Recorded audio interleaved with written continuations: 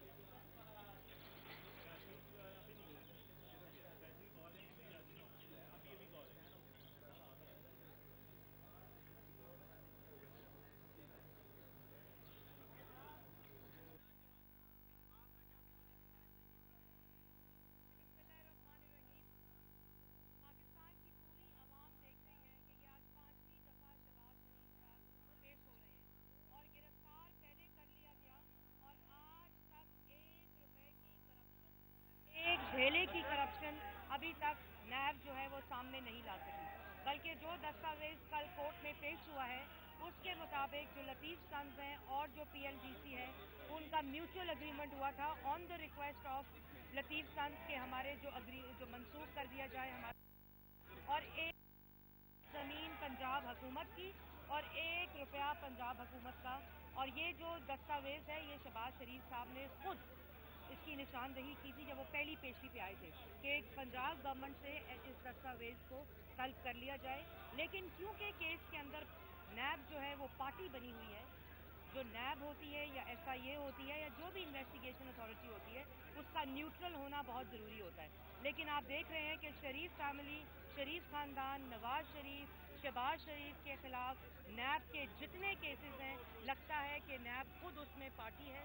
اور وہ جو نیوٹرل پلیٹ فارم ہے، وہ نہیں دیا جا رہا۔ لیکن اس سے سب سے زیادہ خطرناک جو بات ہے کہ ایک روپے کی کرپشن ثابت نہیں ہوئی اور گرفتاری پہلے کر لی گئی اور صاف پانی میں بلا کر آشیانہ میں گرفتاری اور جو لاسٹ پیشی تھی، اس میں رمضان شوگر مل کے اندر گرفتاری۔ یہ کیا مذاق ہے؟ دوسری طرف علیمہ آبادی کی چوری پکڑی جائے، نہ گرفتاری، نہ ریفرنس نہ کسی قسم کا بیان، نہ کسی قسم کی وضاحت، کیونکہ باجی جو ہے وہ اصل چور نہیں ہے اصل چور عمران خان صاحب خود ہے بے نامی عمران صاحب کی خود ہے اور سب سے زیادہ جو بات میں کہنا چاہتی ہوں کہ وہ شخص جس نے اس صوبے کی صرف نہیں، بلکہ پورے پاکستان کی خدمت کی، اس کے ساتھ ہم یہ سلوک کرتے ہیں۔ اور وہ شخص جو یو ٹرن جھوٹ، انتشار، فساد پارلیمنٹ پہ حملہ کرتا ہے، ریاستی اداروں پہ حملہ کرتا ہے۔ اس کو ساتھ ہم وہ سلوک کرتے ہیں جو پورا پاکستان دیکھ رہا ہے۔ لیکن شہباز شریف صاحب کی جو سب سے زیادہ اس وقت کنسرن ہے، ایک تو ان کی خود میڈیکل رپورٹس جو ہیں وہ خراب آئی ہیں اور ان کی کڈنی میں، ان کی چیسٹ میں اور ان کی لارج انٹسٹائن میں گروتھ آئی ہیں، جس کی ڈیٹیل انویسٹیگیشن ہو رہی ہے۔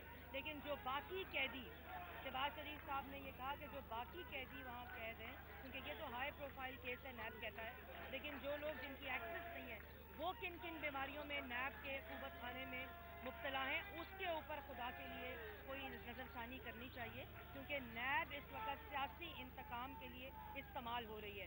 سو دنوں کے اندر صرف شہباز شریف کی گرفتاری جو کہ بائے ڈیزائن تھی، وہ ہوئی۔ اس کے علاوہ سو دن میں سو جھوٹ، سو یوٹرن اور سو ناکامیاں موجودہ حکومت کے حصے میں آئیں۔ لیکن کیونکہ کارکردگی نہیں کرنی، اس لیے سیاسی انتقام لینا ہے۔ یہ ہے مقصد اور یہ ہے ویژن اور یہ ہے آبجیکٹو موجودہ حکومت کا اور میں یہ بھی کہنا چاہتی ہوں کہ آج مجھے امید ہے کہ جو کورٹ ہے وہ شہباز شریف صاحب کو رہا کرے گی اور انشاءاللہ اور کیونکہ کسی کیس میں بھی ایک روپے کی کرپشن ثابت نہیں ہوئی ایک روپے کی کرپشن پاکستان کی عوام دیکھ رہی ہے اور انشاءاللہ شہباز شریف صاحب سرخرو پاکستان میں تبدیلی لانی ہے، نیا پاکستان بنانا ہے۔ کیا آپ سمجھتی ہیں کہ سو دنوں میں جو آپ باتیں کیا وہ تبدیلی دیکھیے سو دنوں، سو دن پاکستان کی عوام کے لیے اذیت ناک تھے، مایوس کن تھے۔ امید کے سو دن صرف نا امیدی تھی کیونکہ چوری کا مینڈیٹ جعلی مینڈیٹ اور سلیکٹڈ پرائم منسٹر پاکستان کی عوام کی ترجمانی نہیں کرتا۔ اور نہ کبھی کارکردگی کر سکتا ہے۔ ہمارا پاکستان مسلم لیگ نون کا، ہم ایک وائٹ پیپر دے رہے ہیں، سو دن کی ناکامیوں کے اوپر۔ انشاءاللہ جب جھوٹوں کا پلندہ، کیونکہ ابھی تیاری کس چیز کی ہو رہی ہے؟ تیاری ہو رہی ہے سو جھوٹوں کو چھپانے کے لیے، سو جھوٹ بولنے کی۔ وزارتیں جھوٹوں پہ جھوٹ، جھوٹوں پہ جھوٹ لکھ رہی ہیں، کیونکہ وزیر اعظم کی ڈائریکشن ہے۔ وزیر اعظم کی ڈائریکشن ہے کہ جھوٹ بول کر اپنی کارکردگی سامنے سامنے لائیں۔ اور یہی اصل آبجیکٹو ہے اور یہی سو دن کی کارکردگی ہے